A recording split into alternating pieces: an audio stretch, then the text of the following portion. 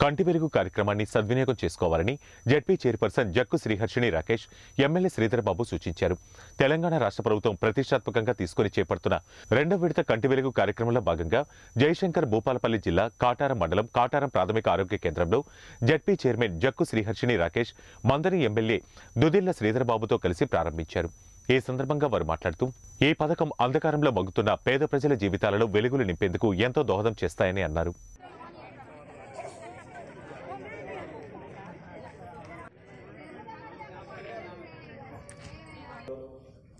పిఎస్సిలో పనిచేస్తా ఉన్న మా ఏఎన్ఎం సోదరిమల్లు.